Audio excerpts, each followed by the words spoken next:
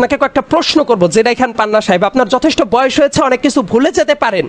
কিন্তু আপনি মাথায় রাখেন একটু। আমি সালটার কথা বলি দু হাজার তেরো সাল নয় নভেম্বর, কালের কণ্ঠে একটা রিপোর্ট প্রকাশিত হয়। আগের দিন আপনারা বিশাল বড় একটা সমাবেশ করে সেই রিপোর্টটা প্রকাশ করেছিলেন। ঘাতক দালাল নির্মূল কমিটির, অর্থাৎ আমাদের ওই যে শাহরিয়ার কবির, যাকে আসলে ভদ্র ভাষায় বিশেষায়িত করার কোনো কারণ নাই। সেই শাহরিয়ার কবিরদের দলে আপনিও ছিলেন। সেই জায়গা থেকে একটা রিপোর্ট প্রকাশিত হয়, পাঁচ মে মতিঝিলে কেউ মারা যায় নাই। এই রিপোর্টটা আপনারা তৈরি করেছিলেন জেরাই খান পান্না সাহেব। তার মানে আপনি ওই শাপলা চত্বরে শেখ হাসিনা যে নির্মমতা দেখিয়েছিল, সেই জিনিসটার বৈধতা আপনার হাতে তৈরি করা হয়েছে জেরাই খান পান্না সাহেব। ওই ঘাতক দালাল নির্মূল কমিটির সাথে একসাথে মিলে আপনি কাজটা করেছেন। আপনার সাথে আরও অনেক মানুষজন ছিল। এই কথা কি আপনি ভুলে গেছেন? আপনার বয়স হতে পারে। কিন্তু আপনি কি ভুলে গেছেন কিনা?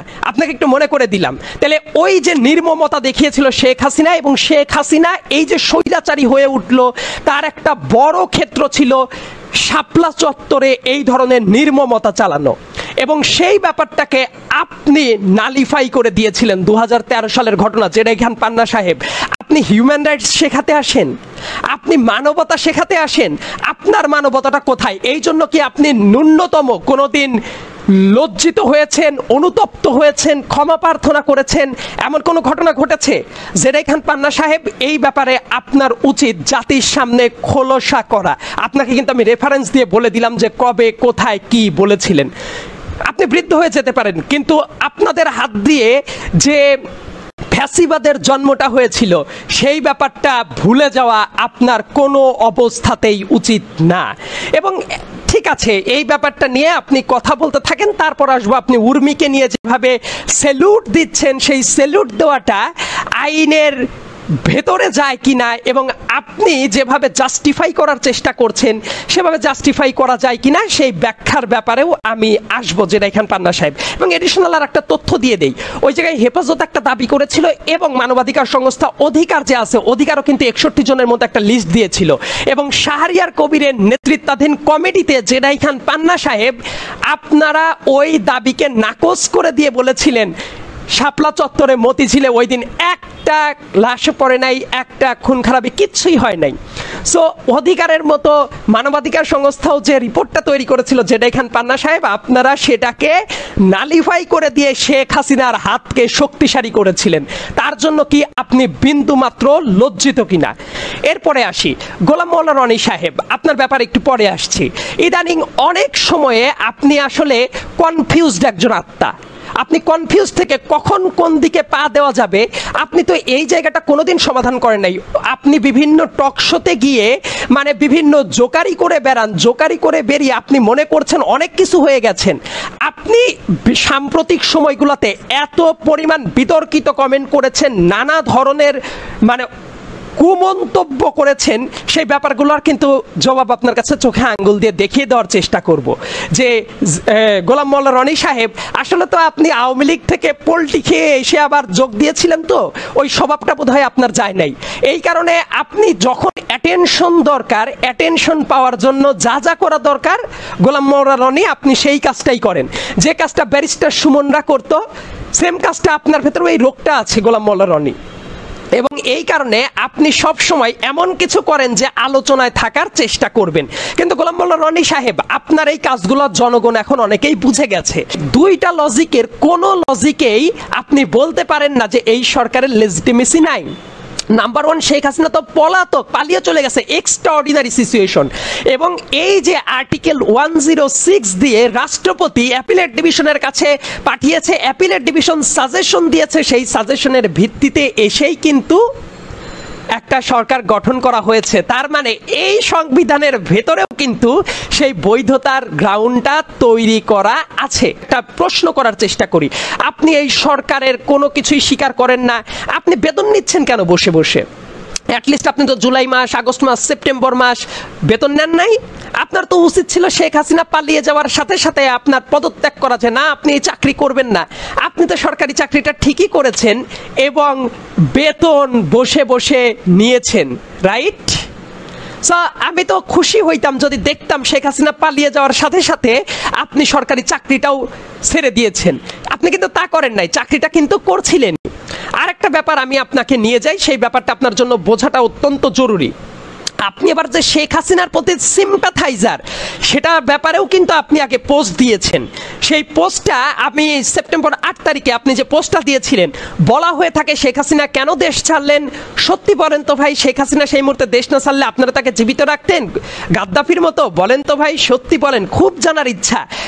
একজন লেডি স্বৈরাচার এবং পৃথিবীর বুকে কুখ্যাত স্বৈরাচারের একজন, যার হাতে বিগত পনেরো বছরে হাজার হাজার মানুষের খুনে রক্তের দাগ লেগে আছে, মানুষের ভোটাধিকার হরণ করে নিয়েছে।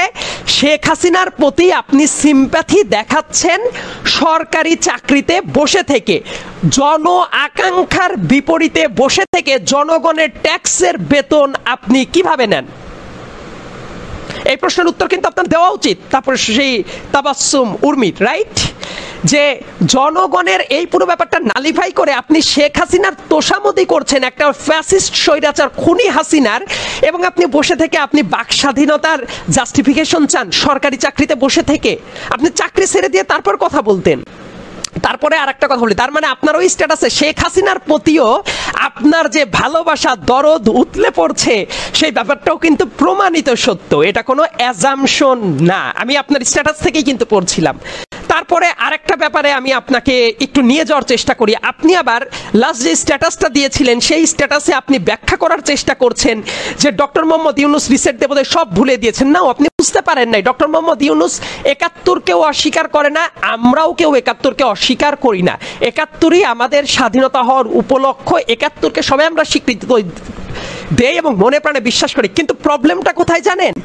শেখ হাসিনা এই একাত্তরকে নিয়ে বাজেভাবে এক্সপ্লয়েট করে চেতনার বটিকা বিক্রি করে তার অবৈধ রেজিমের লেজিটিমেসি খুঁজে নিত। এই ব্যাপারটা রিস্টার্ট দেওয়াটা জরুরি। এই কনসেপ্টগুলো থেকে বের হয়ে আসা জরুরি যে মুক্তিযুদ্ধের চেতনা মানে ফ্যাসিস্ট আওয়ামী লীগ, ভোটচোর আওয়ামী লীগের চেতনা না। মুক্তিযুদ্ধ হয়েছিল কি কারণে জানেন? ভোটের অধিকারের জন্য। যদি ওই ভোট যখন হয়েছিল, সেই অনুপাতে যদি ক্ষমতা হস্তান্তর করা হইতো তাহলে তো মুক্তিযুদ্ধের অ্যাটলিস্ট ওই সময়ে ওই ইভেন্টটা ঘটতো না। মানে ভোটের সাথে আমাদের দেশের মুক্তিযুদ্ধের সম্পর্ক একদম অঙ্গাঙ্গিভাবে জড়িত। ক্ষমতা যদি হস্তান্তর করত ওই সময়ে, তাহলে কি মুক্তিযুদ্ধ ওই সময়ে হতো অন্তত? আর শেখ হাসিনা কি করল? দু হাজার চোদ্দ সাল, দুহাজার আঠারো সাল, দুহাজার চব্বিশ সাল তিনটা ম্যাসিভলি রিগড ইলেকশনের জন্ম দিল। দেশের জনগণের ভোটাধিকার পুরোপুরি কেড়ে নিল। এই যে কোন চেতনার বটিকা বিক্রি করে? একটা ঘটনা বলি, চেতনার প্রকারভেদ কেমন ছিল? ওই যে সুশীল তারা কথা বলছেন গোলাম মাওলা, রনি, জেডাই খান, পান্না, তাদের জন্য একটা স্টেটমেন্ট বলে দু হাজার চোদ্দ দু সালেরই ঘটনা। বরিশালে একটা ঘটনা ঘটে।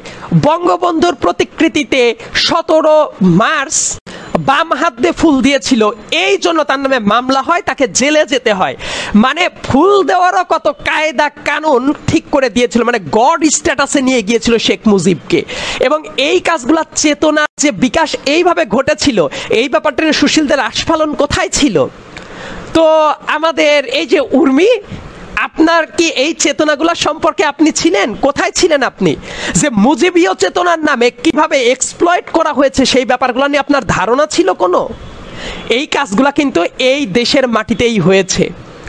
বেশি কিছু করার দরকার নাই। জগন্নাথ ইউনিভার্সিটির খাদিজিয়ার কথা যদি বলি জাস্ট একটা টক শো অ্যারেঞ্জ করেছিল, তখন মাইনর একটা মেয়ে ছিল।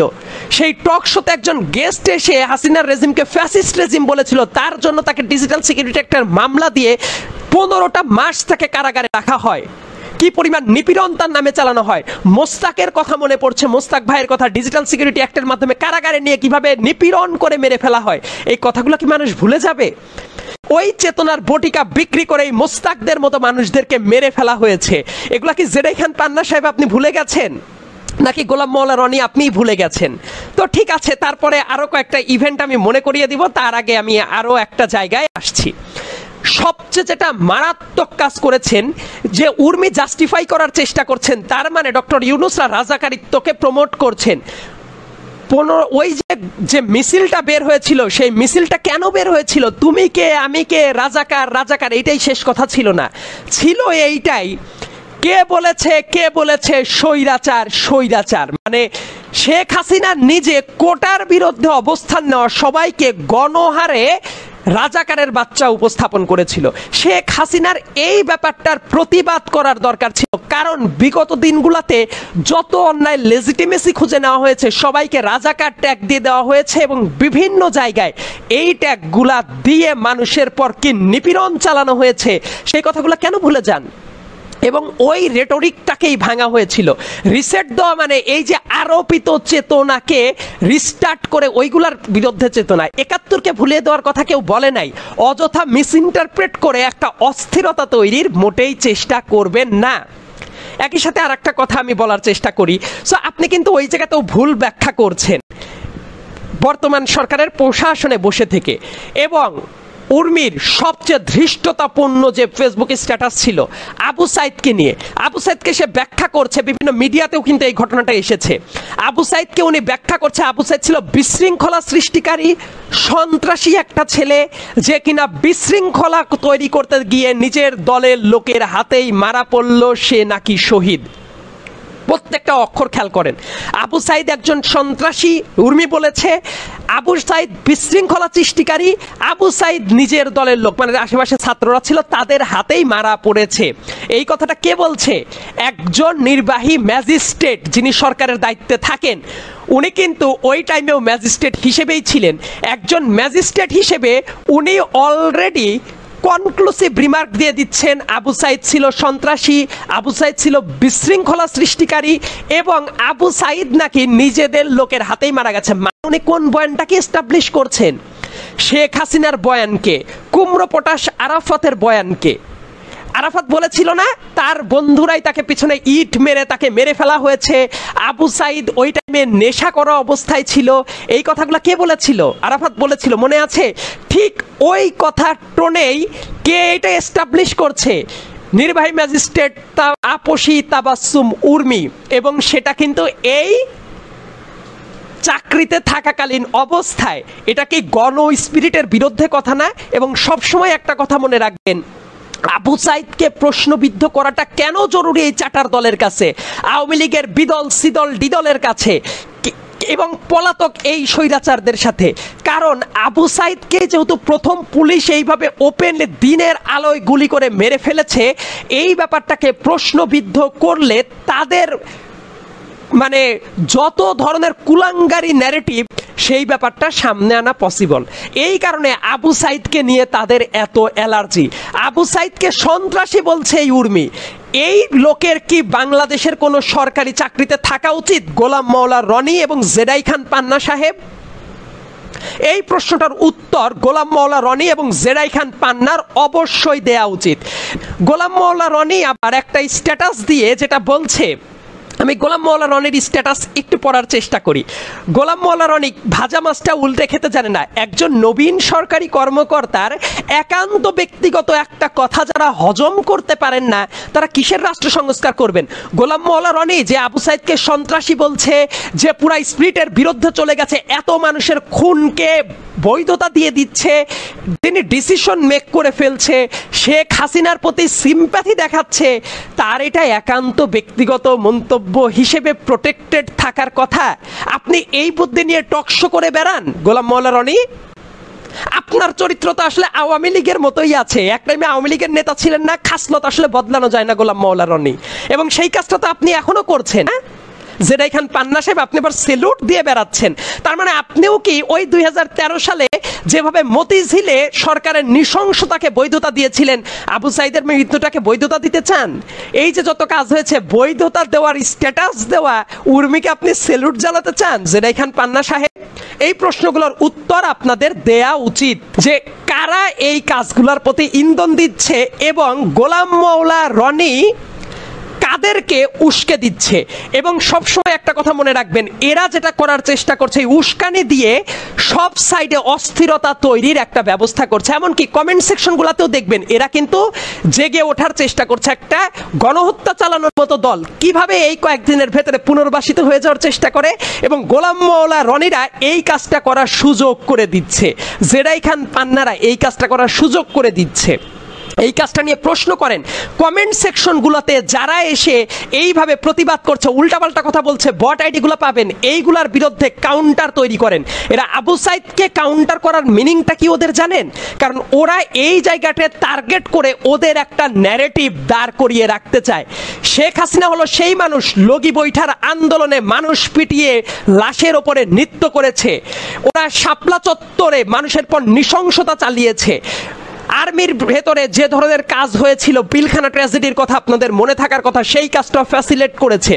বিভিন্ন টাইমে নিরাপদ মানুষকে গুম, খুনের সাথে জড়িত ছিল বিগত পনেরো বছর। কি পরিমাণ নৃশংসতা দু হাজার চব্বিশ সালে চালিয়েছে এবং প্রত্যেকটা কাজের বৈধতা দেখবেন, আওয়ামী লীগের পতিত স্বৈরাচারের সমর্থকরা এই কাজটা করার চেষ্টা করছে অনলাইনে এবং বট আইডিগুলা দিয়ে এই কমেন্ট করার চেষ্টা করছে।